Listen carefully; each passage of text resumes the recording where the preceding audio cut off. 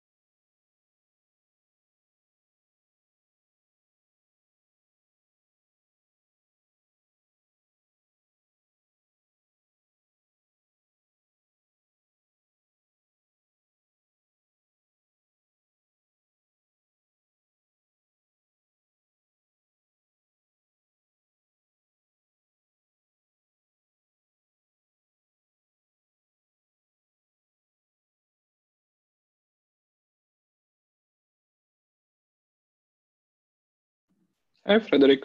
How are you?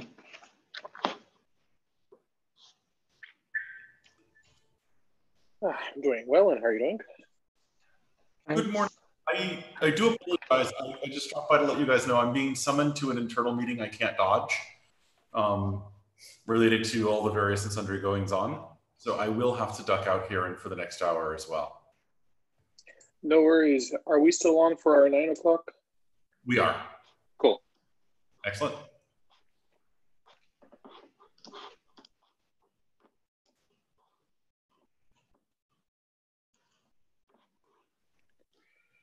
Cool. Well, uh, in that scenario, I guess it'll just be the uh, the four of us. Yep. So cool. So, uh, what do we want to talk about? Uh, let's other team members will also join. I think we can discuss the current progress, uh, what's going on on our side, at least. Sure. Denise, could you start sharing details about the DNS changes and uh, about the uh, WireGuard stuff you're doing? Uh, yes, sure. Uh, by DNS, uh, I have provided uh, PR for improvements uh, in the same DNS part. for example, I have started to use our external plugin Fanout from separate repo. Also, I have removed uh, NSM core DNS image from monorepo. And also I have implemented uh, core DNS suggestion to use uh, forward plugin by default and use Fanout plugin for conflict resolution. And uh, PR uh, has been passed all tests, so please take a look. Um, I can uh, share my screen for uh, yep, yep. project board. Yeah, let's let's do so.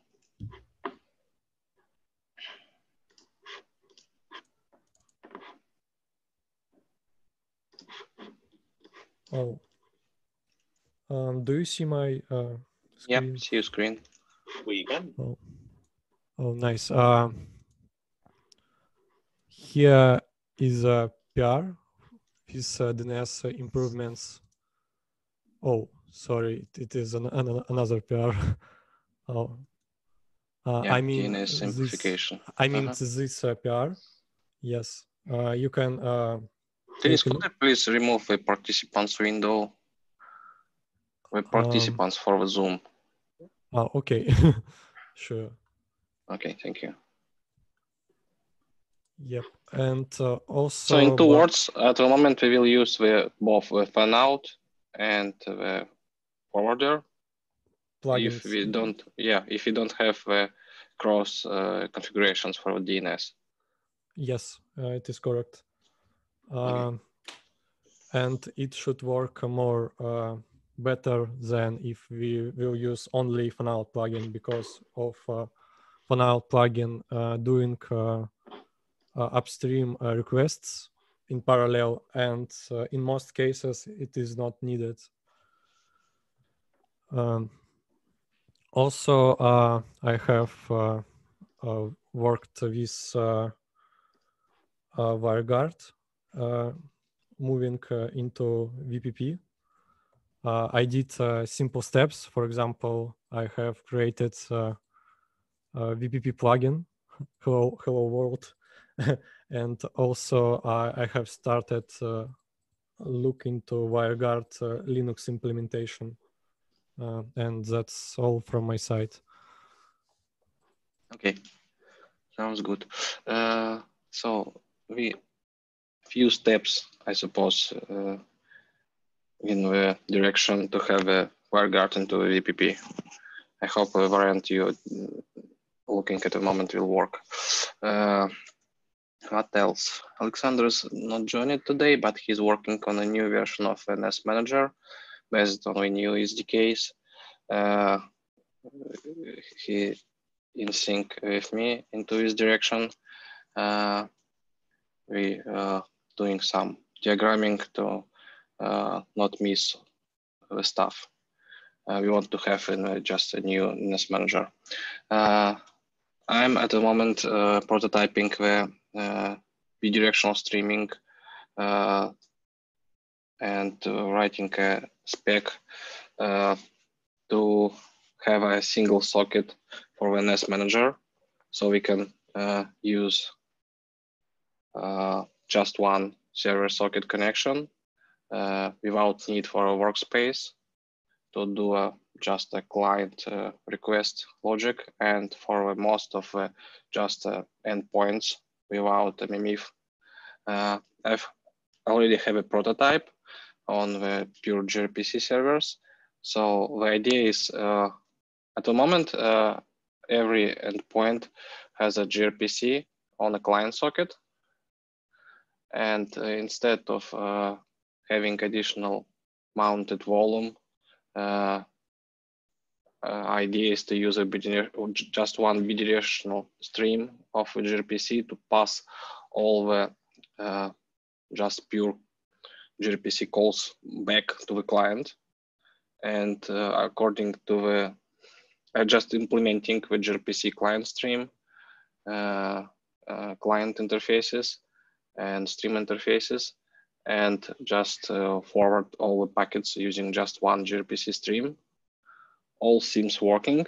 Uh, planned to provide a pull request to review and the spec uh, later today or early in the morning tomorrow. So we can probably discuss it uh, and check if you guys, if this approach will work. In this case, uh, we could uh, dramatically simplify VNS managers because we will no, no need for a device plugin. Uh, and the setup for the clients and endpoints will be much easier and clean because just one volume with just one server socket will be required. Uh, what yeah, else? Nice. Yeah, actually, I think uh, it, I've not find any solution similar uh, to what I wanted uh, in this area. Uh, it looks nobody was care about uh, this. if um, if you think that the solution is is clean and uh, is useful to others, then we, we should consider uh, uh, in the long run perhaps uh, publishing some information about it for others to uh, to use. Yeah, yeah, we yeah. Could, uh, so at, at the moment, actually, it will look very clean because it's like just one Go model with a protobuf file.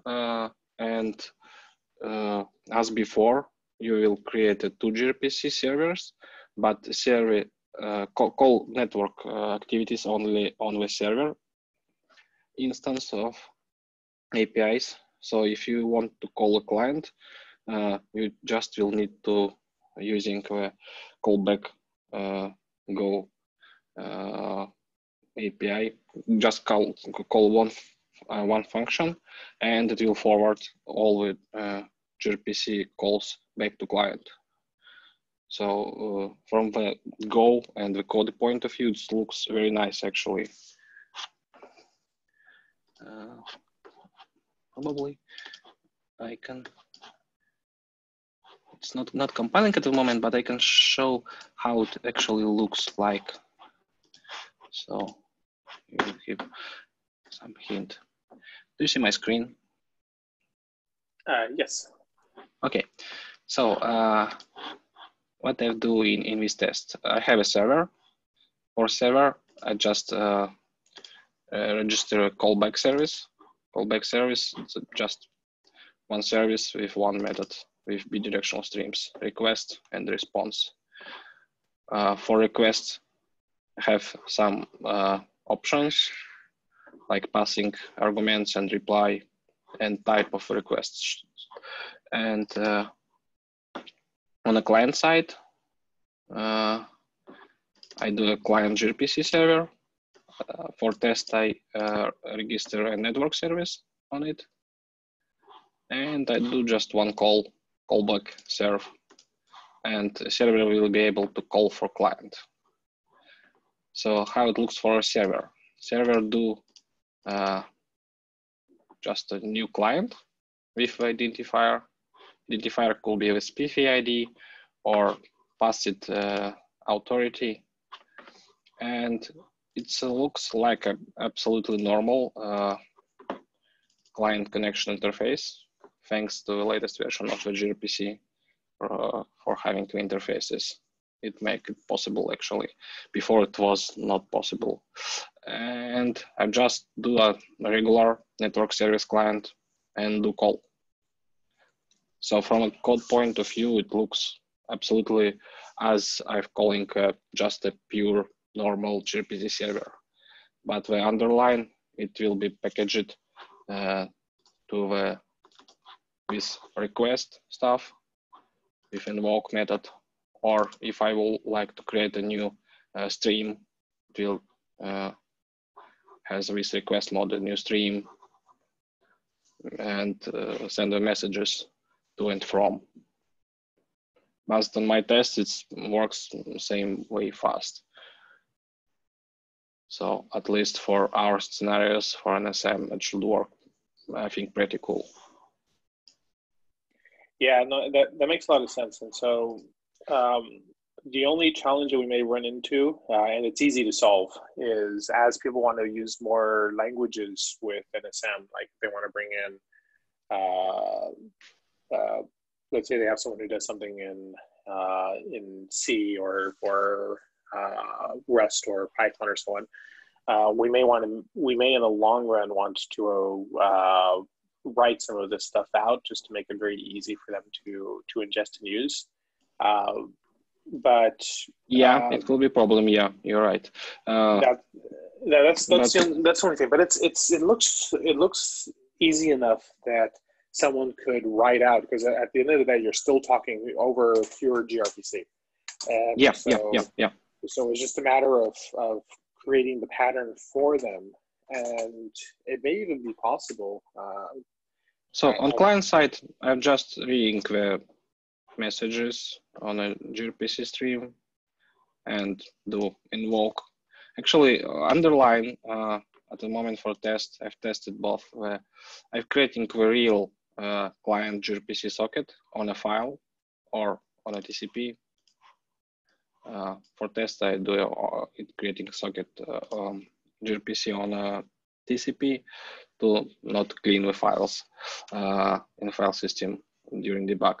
Uh, and uh, so I just forward to a real gRPC server. So probably uh, it could be, I don't know, actually to create this kind of forwarders, it's not so complicated actually.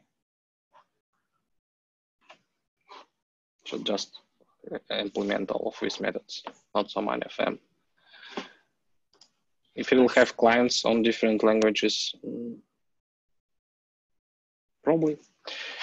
Alternative is to have, uh, let me find a proposal, uh, to have something similar to this one. It's like if NSE do uh, register on NS Manager and then do the same way, but having with uh, request and response uh, just in our network service manager APIs. Mm, but I'm not sure uh, if it's make more clean. It will be easier to implement for different languages, of course, but not so cool looking code and easy, easy to use. Yeah, no, I, I like the, the, the the previous approach that you showed me, and um, you know, it's um, if if I, I think in the in if this is the direction we end up going with uh, in the in the long run, you know, we can we can work with the community to just put out the right set of libraries so that uh, it becomes easier for them to to use the bidirectional stuff, and it'll it'll definitely be useful for others because I know that it's one of the, the main problems people have with gRPC is that there's no real bidirectional uh, capabilities. No, no, it, it actually binds into the gRPC, but uh, it's just a stream. It's not. Yeah, exactly. it's not. Uh, it's easy to use. Uh, but with uh, API interfaces, uh, it's possible to use. because I think uh, I don't remember exactly uh, when this was introduced, but not so far away. I think maybe two or three months ago, and before it was uh, just a client connection without uh, this uh, interface stuff. Uh, what else? I think we still have some stuff in Go League area and uh, we're still working on some issues in the monorepo to understand uh, why sometimes ping is not uh, succeed uh, with uh, this uh, suites approach. Mostly, I think that's all from our side. Frederick, do you have some areas we can focus? Uh, yeah, so the things that are coming down the pipeline that uh, that I uh, that I personally care about is going to be focusing. There's some. Um, so one of them was uh, uh, was on uh, trying to get WireGuard support in, in VPP. Uh, the second one that I that I was looking at is uh, trying to trying to get uh, some more advanced examples for open policy agent uh, and and SPIFFE interaction. Because uh, right now there's when I was looking at what's uh, available, the we're able to make a decision based on uh, the last uh, token in the in the chain, the last element, uh, if I if I read it properly, and one of the things that we're going to be able to be able to do is to run policy that that traverses the whole the whole chain for uh, for all SPIFFE IDs that are in a in a given connection. And so, but I, I, think the right way to approach it is we come up with a set of scenarios uh, for uh, the things that we expect to see uh, and things that we expect uh, there to be policy on that uh, that uh, fits into open policy agent. And then we can use that to to guide the next uh, set of changes in uh, in open policy agent and SPIFFE interaction. Does uh, does that make sense? Yeah.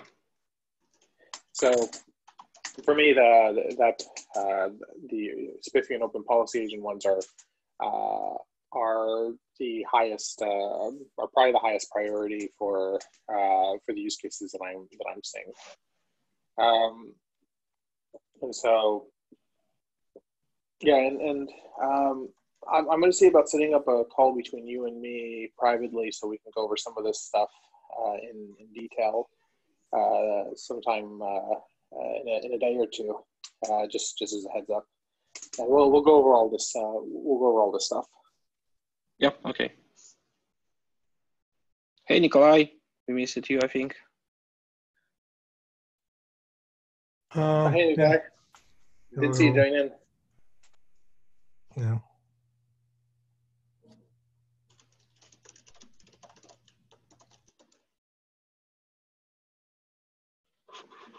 Okay. Uh,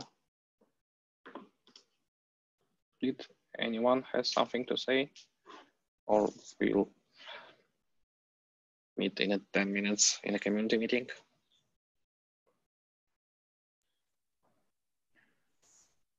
Well, if we don't have any other main topics, then let's go ahead and uh, uh, take a short break. Yep. See you in 10 minutes. See you shortly. Thanks. See you.